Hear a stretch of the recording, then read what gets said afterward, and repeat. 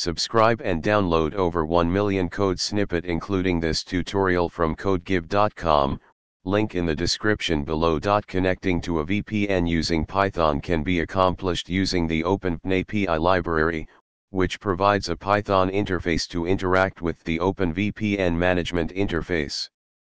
In this tutorial, we'll walk through the process of connecting to a VPN server using Python.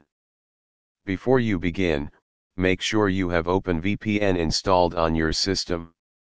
Ensure you have a valid OpenVPN configuration file, with a .open extension, provided by your VPN service.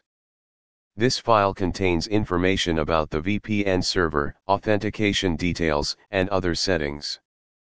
Create a Python script, example vpn underscore connect.py, with the following code. Replace path slash to slash your slash vpn config dot open with the actual path to your OpenVPN configuration file.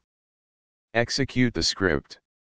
If everything is set up correctly, the script should establish a connection to the VPN server and print connected to VPN successfully. Ensure that the OpenVPN management interface is enabled.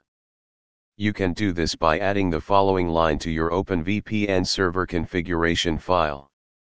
Make sure the OpenVPN service is running. Customize the script based on your specific needs, such as handling errors, disconnecting from the VPN, or adding additional functionality. Always handle sensitive information, such as usernames and passwords, securely.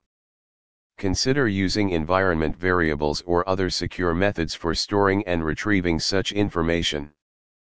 This tutorial provides a basic example of connecting to a VPN using Python. Depending on your specific requirements and the VPN service you're using, you may need to adapt the script accordingly. ChatGPT